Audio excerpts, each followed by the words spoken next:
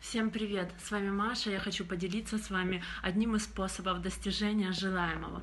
Вы знаете, я пользуюсь лично таким способом, как визуализация желаемого. И у меня вот возле кровати есть вот такая доска, с фотографиями, с фотографиями, куда я хочу поехать. Здесь это фото, это фото выкачано из интернета, но здесь, если вы посмотрите, сейчас попробую вам показать, здесь вот есть места, куда мне хочется поехать, не обращайте внимания на гирлянду, это новогоднее украшение. И вот я вот так вот себе визуализирую свое, свое желаемое будущее. И когда у меня есть минутка, я останавливаюсь, смотрю на фото и направляю энергию на свои желания.